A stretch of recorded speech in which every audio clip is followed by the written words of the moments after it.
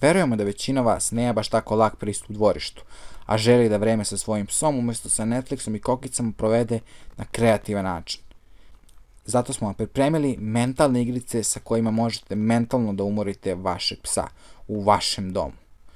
Naučno je dokazano da psi koji se mentalno razgibaju bolje slušaju, a ovo je takođe deo recepta kako se dobija srećan pas, a postaje srećna porodica. Dobrodošli na naš novi serijal Mentalno razgibavanje pasa.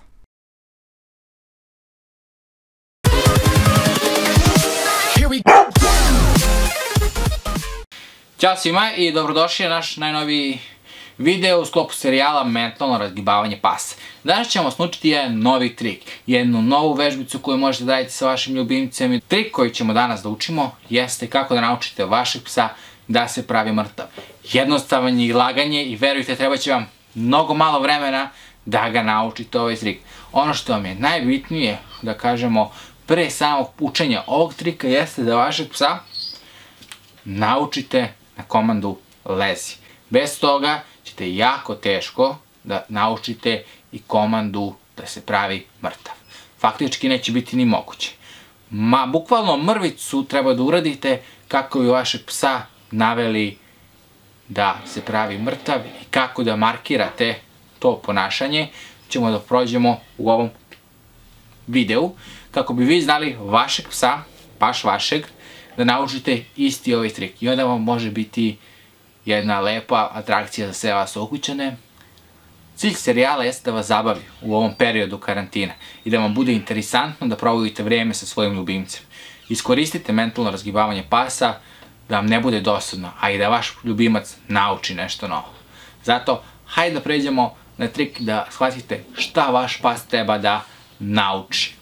Ali, pre nego što nastavimo dalje, želim da vam se zahvalim na bezbroj poruka koje nam šaljete, e, fotografije i videoklipova u kojima radite sa vašim ljubimcima i da vežbice koje radite sa vašim ljubimcima izgledaju savršeno, besprekorno svaka čast, odlično napredujete, neizmjerno nam je drago kad vidimo takve poruke. Hajde sada da pređemo na video.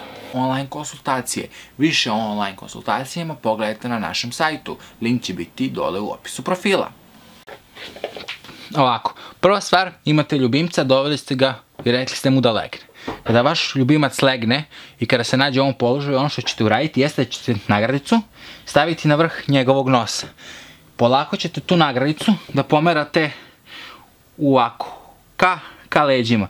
Ono što jeste, vaš ljubimac će da prati vašu nagradicu i kako on bude pratio tu nagradicu, okretat će se i jednostavno će da ovako se prebaci u ležeći pokoj. Kad se ovako prebaci u ležeći pokoj, nagradit ćete, možda mu kažete i bang bang ili mrtav ili neki signal kojim ćete markirati to, to željeno ponašanje.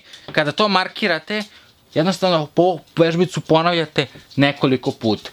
Znači, u ležećem položaju nagradica na nos, sa nosa, polako iza uveta, vaš ljubimac okreće i automatski sila gravitacije raditi svojom će leći na stranu, čim lege na stranu, možda kažete bang bang, mrtav ili kako god želite da markirate ovaj položaj i da nagradite vaše ljubimca.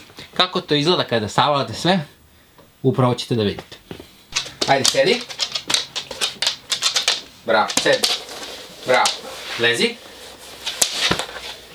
Bang.